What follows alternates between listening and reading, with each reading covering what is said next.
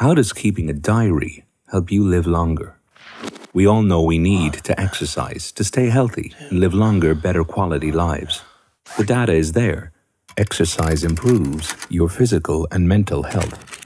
Yet most of us still don't do enough exercise, or even any exercise. If exercise was a medicine, we would pop that pill every morning, no problem. So, what is the problem? Researchers at the University of Limerick are exploring the psychosocial factors that are preventing people from taking a daily dose of exercise. We are analysing these problems and finding solutions.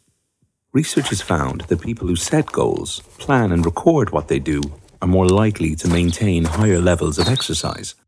Whether it's an old fashioned paper diary or a high tech sports app, these small behaviour changes can have a positive impact on your health. The diary a simple tool that enables people to set and record their exercise goals for improved health. Postgrad at UL. Another way of thinking.